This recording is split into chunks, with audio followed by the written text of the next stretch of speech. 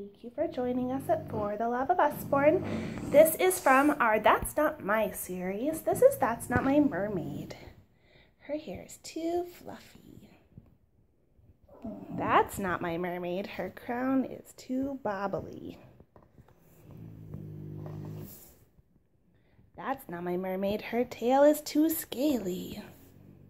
That's not my mermaid. Her hair clip is too bumpy. That's not my mermaid. Her necklace is too squashy.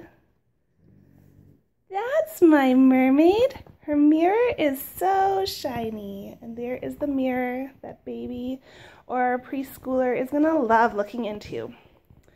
Now these um, board books, they do have that cute little mouse to find on every page and the nice um, high contrast, thick black outlined illustrations and bright colors every page. They're great for young developing eyes, but the repetitive nature of the text makes it really easy for early readers too, or even your toddlers who um, like to think that they're reading.